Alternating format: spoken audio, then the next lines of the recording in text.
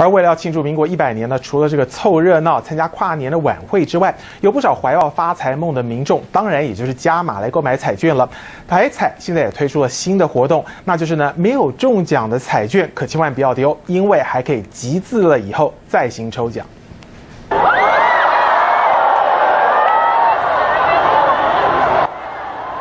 民国一百年，有人准备欣赏精彩的一零一烟火秀，也有人打算上山看日出。在彩券行前，也有不少人抢着要实现发财的新年新愿望。因为民国一百年，台彩也要加码送出新愿望，没中奖的彩券可要收好，因为还能够抽中东京直飞机票。集满买彩券做公益就可以送机票，是松山到羽田的机场有一百个的名额，所以说现在很多人投注站客人都来这边，哎，看看你有什么字，我可以跟你做交换，所以说蛮多人的买气有提升很多，多了一个抽奖机会，会不会让你想要买更多？会，会想买更更多。